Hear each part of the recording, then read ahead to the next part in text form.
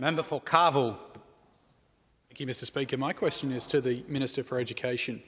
Can the minister advise the House as to the impacts of the Marshall government's significant capital works program for schools in my community and across South Australia?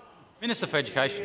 Thank you. I uh, thank the member for Kavel uh, for his question, and I also note his long-standing uh, and deep and abiding interest in supporting young people as education in his community.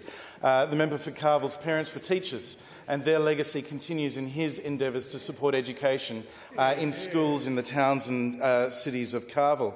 Um, can I advise the House uh, that in the Kavel electorate, the people and the residents there are supported by a Member of Parliament who communicates regularly uh, with ministers, and as the Minister for Education, I hear, I hear very regularly from the member for Kavel about some of the needs of his schools, in particular in the Mount Barker area with its growing population, uh, some of the challenges that uh, potentially that may place on the local education infrastructure in the years ahead. Uh, and I advise uh, the member for Kavel and his community uh, that not just as a result of the weekly phone calls from the member for Kavel about this issue, uh, but we are keeping a very close eye on that. So the works I'm about to outline at some of his schools, uh, we will keep a close eye on the needs at some of the other schools. The member for Kavel regularly talks about the needs of Mount Barker South Primary School, a school that he's taken me to more than once, uh, and indeed uh, where he brought the governing council chair uh, in to meet me not that long ago, uh, and indeed Littlehampton Primary School, which also are under capacity challenges. And so there's work that we may be in a position to look at uh, in the years ahead as that population uh, in Mount Barker potentially grows. Uh, we will be keeping a very close eye on that. We are pleased uh, that as a part of the $1.3 billion in capital works that is in the state budget for educational upgrades around South Australia. There are a couple of particular upgrades within the member for Kavel's electorate.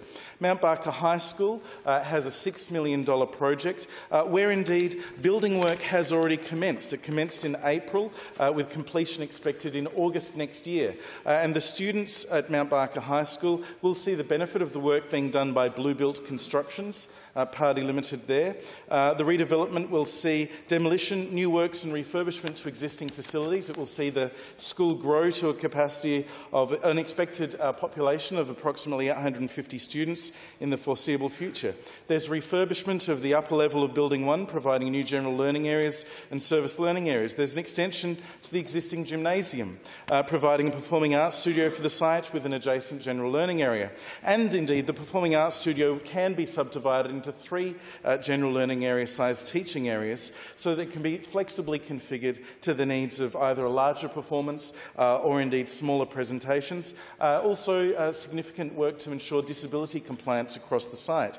Demolition of some facilities, a small outdoor teaching area. But wait, there's more, uh, because since work has begun, we've also added hearing augmentation being provided to all areas in the scope, uh, and indeed refurbishment of Building 6 to accommodate relocation of administration uh, to deal with a particularly concerning issue for a number of members of the school community uh, with the long-standing uh, safety and compliance challenges. They can now be fixed with that relocation.